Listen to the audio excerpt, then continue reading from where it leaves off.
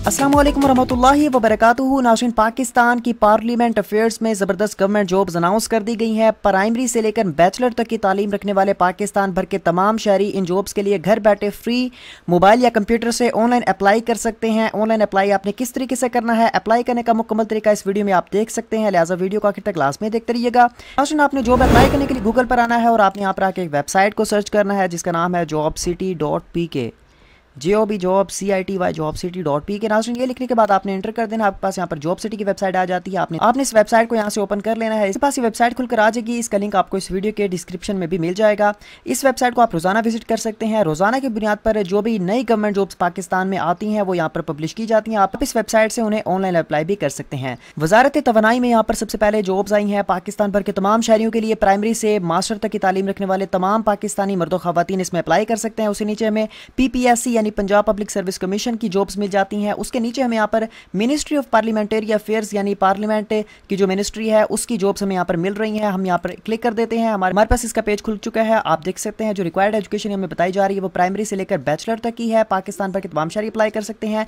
Last date apply करने की पंद्रह मई दो हज़ार बाईस है। अब बात करते हैं, कौन सी वैकेंसीज है जिस पर अप्लाई जारी है? सबसे पहले स्टेनोटाइपिस्ट की पोस्टें हैं। यहाँ पर आपको जो सैलरी स्केल दिया जा रहा है, वो बी पी है। उसके बाद डाटा एंट्री ऑपरेटर की वैकेंसीज हैं। हर पोस्ट के सामने आपको उसका सैलरी स्केल भी मिल जाता है, यानी आपको कितनी सैलरी दी जा सकती है उस पोस्ट के लिए। अपर डिवीज़न क्लर्क की पोस्टें हैं लोअर डिवीज़न क्लर्क की पोस्टें हैं ड्राइवर्स की, उसके बाद फ्राश की, उसके बाद नायब कासिद की, यहाँ पर पोस्टें शामिल है।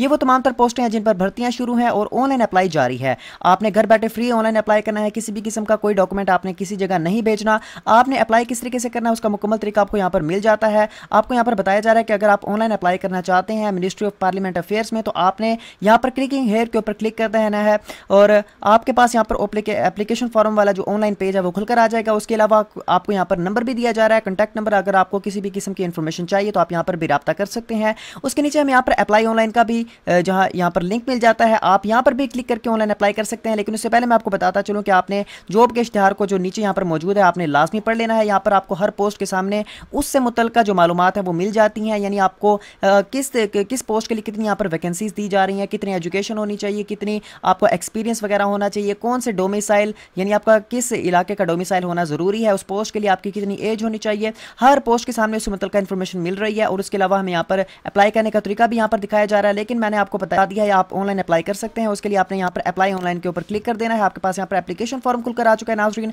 आपने यहाँ पर जिस भी पोस्ट को, जिस भी पोस्ट के लिए अप्लाई करना है, आपने जस्ट उस पोस्ट को यहाँ से सिलेक्ट कर लेना है। यहाँ पर आपको वही तमाम तर पोस्टें दिखाई जा रही हैं। विद यहाँ पर सैलरी स्केल भी आपको मैंशन मिल रहा होगा। आपने उस पोस्ट के ऊपर क्लिक करना है। आपने जस्ट इस एप्लीकेशन फॉर्म को ईजिली फिल आउट कर लेना है। इसमें कोई मुश्किल चीज़ आपसे नहीं पूछी जा रही। आपसे मुतल इन्फॉर्मेशन है जो आपकी बेसिक इन्फॉर्मेशन है, वो आपसे मांगी जा रही है। आपने जस्ट यहाँ पर फिलअप करनी है। उसके बाद आप जिस टेस्ट सेंटर में जाकर इम्तहान देना चाहते हैं, आपने उस टेस्ट सेंटर को यहाँ से सिलेक्ट करना है। उसके बाद आपने यहाँ पर यहाँ पर इसे, यहाँ पर टिक मार्क करके उसके बाद आपने सबमिट कर देना है। यहाँ पर आपकी कोई भी किसी किस्म की फ़ीस नहीं लगेगी। आप फ्री में पार्लियामेंट अफेयर्स की मिनिस्ट्री में अप्लाई कर सकते हैं। मुझे उम्मीद है कि आज की इस वीडियो को आपने पसंद किया होगा। सवाब की नीयत से इस वीडियो को दूसरे लोगों तक क्लास में शेयर कीजिएगा। तब तक के लिए मिलता अगली वीडियो में अपना और अपनी गिरदन का ख्याल रखिएगा। अल्लाह हाफिज़।